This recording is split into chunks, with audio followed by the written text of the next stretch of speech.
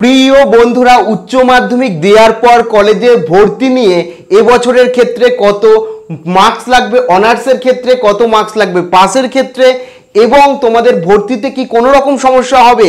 এ এছাড়া ভর্তি সংক্রান্ত ও এবছরের সম্পূর্ণ এ টু জেড তথ্য নিয়ে তোমাদের সঙ্গে বিস্তারিত আলোচনা করব।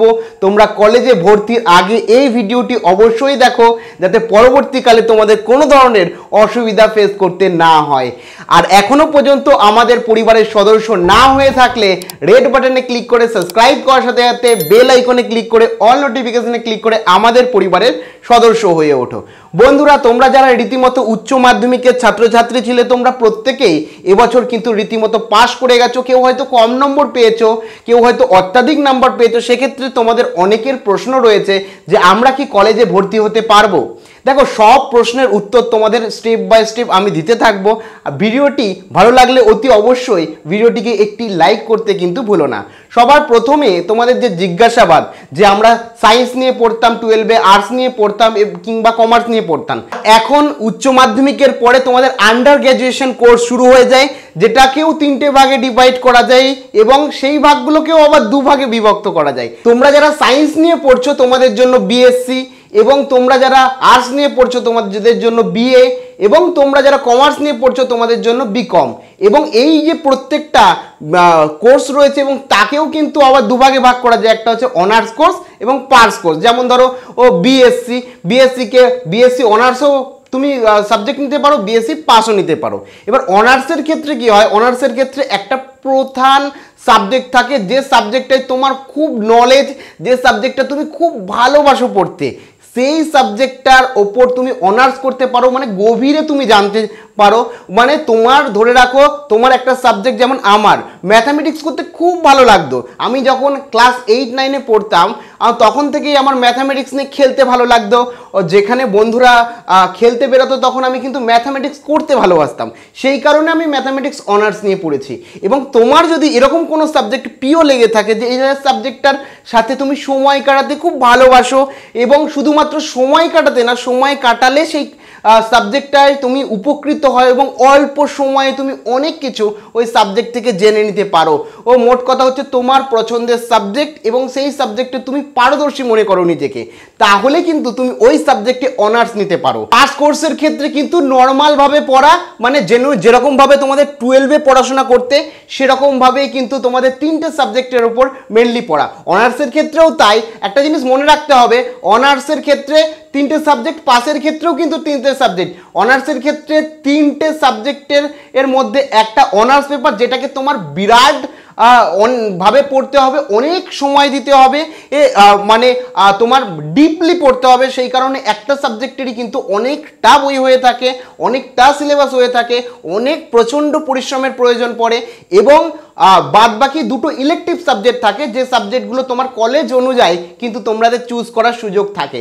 কাজেই তুমি যে কলেজে ভর্তি হচ্ছ, সেই কলেজে তুমি যে অনার্স নিতে চাইছো, সেই অনার্সের সাথে অ্যাকচুয়ালি কী কী ইলেকট্রিক সাবজেক্ট বা বাদ বাকি কী কী সাবজেক্ট দেওয়া হয়, সেটা কিন্তু তোমাকে জেনে নিতে হতে পারে। যেমন ম্যাথামেটিক্সের সাথে কোনো কোনো কলেজ দিয়ে থাকে ইলেকট্রনিক্স আর কোনো কোনো তার সাথে ফিজিক্সও দিয়ে থাকে, কোনো কোনো এরকম রয়েছে ফিজিক্স কেমিস্ট্রি দিচ্ছে ম্যাথামেটিক্সের সাহায্যে, এবং আদার্স বিভিন্ন কম্বিনেশন থাকে, সেটা কিন্তু কিছুটা কলেজে কী রকম ফ্যাকাল্টি আছে কলেজে কী রকম সুবিধা আছে অ্যাকচুয়ালি আর সেই অনুযায়ী কিন্তু ডিপেন্ড করে। তো এখানে আরও একটা ব্যাপার বলে রাখি, যারা পাশে স্টুডেন্ট রয়েছে, তোমাদের ক্ষেত্রেও কিন্তু তিনটে সাবজেক্টই থাকে এবং তিনটে ইলেকট্রিক সাবজেক্টই থাকে। যে সাবজেক্টগুলো খুব অল্প পরিসর পড়লেও কিন্তু তোমরা ভালো নম্বর তুলতে পারবে এবং এখানে কিন্তু অবশ্যই একটা জিনিস মাথায় রাখতে হবে, তোমরা অনার্স নাও কিংবা পার্স নাও, তোমরা মনে করতে পারো যে অনার্স নিচ্ছে আমি, বিরাট কিছু লাইফে করে দেবো, আর পাস নিচ্ছে আমি কিছু করতে পারব না, এরকম না। অনার্স নিয়েও তুমি যে জায়গায় যেতে পারো, পাস নিয়েও কিন্তু তুমি সেই জায়গায় যেতে পারো। কিন্তু অনার্সের ক্ষেত্রে কি হয়? একটু সুবিধা হয় এক্সট্রা সুবিধা আসে। ক্ষেত্রে তোমরা অনেকেই জিজ্ঞাসা করতে পারো যে, অনার্স ভালো না পাস ভালো? অবশ্যই অনার্স ভালো, কিন্তু একটা জিনিস মনে রাখতে হবে এই বিষয়টা তোমাদের খুব ভালো করে ক্লিয়ার করার জন্য একটি গল্প তোমাদেরকে শোনায়, যেটা আমি তোমাদের জন্য ক্রিয়েট করেছি। ধরো, তিন বন্ধু, তোমরা অ্যাকচুয়ালি ঘুরতে গেছো জঙ্গলে, সেক্ষেত্রে একটা সোনার খনির সন্ধান পেলে। ঋষির কথা অনুযায়ী, ও যে তোমাকে সোনার খনি থেকে যত ইচ্ছে সোনা তোমরা বাড়ি নিয়ে যেতে পারো, কিন্তু একবারই তার জন্য ও সময় কোথাও রাখা যাবে না, সোনাটাকে একবারে বাড়িতে গিয়ে রাখতে হবে। এবং প্রত্যেকের বাড়ির দূরত্বও প্রায় সমান, আর একই জায়গায় যেহেতু থাকো তিন বন্ধু এবং অং, তোমাকে একটি নির্দিষ্ট সময়ও দেওয়া হয়েছে, এটা নিয়ে যাওয়ার জন্য ধরো এক ঘণ্টা দেওয়া হয়েছে। তো মোটামুটি তোমার বাড়ির থেকে যেতেও ও খনি পর্যন্ত এক ঘন্টায় লাগে। সেক্ষেত্রে কিন্তু তুমি দেখলে তোমার এক বন্ধু প্রচুর সোনা, প্রায় তিন বস্তা সোনা, আর চেহারা খুব শক্তিশালী। তে তিন বস্তা সোনা নিয়ে অ্যাকচুয়ালি রওনা দিল। ও, এক ঘণ্টার মধ্যে বাড়িকে পৌঁছাতে হবে। এবং সেই অনুযায়ী কিন্তু তুমিও বললে, আমার বন্ধু বড়লোক হবে। আমার বন্ধু এতগুলো সোনা নিয়েছে, আমিও তিন বস্তা সোনাই নেব। কিন্তু তুমি তো সেই বন্ধুর মতন শক্তিশালী নয়। আরেকটা বন্ধু কি করল? ও তোমার তৃতীয় বন্ধু কি করল? সে, ও তোমার মতনই সে কি করল? অল্প সোনা নিল।